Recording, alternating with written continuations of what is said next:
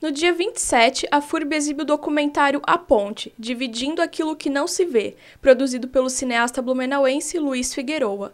O documentário revela uma realidade que é omitida por muitos.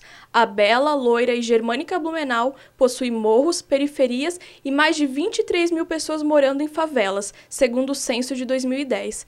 A grande divisora da cidade é a Ponte José Ferreira da Silva, ou Anel Viário Norte, como é mais conhecida, localizada no bairro Ponta Aguda. As pessoas olham a, a ponte do Anel Viário como uma referência de Blumenau e, e ela separa duas realidades bem diferentes.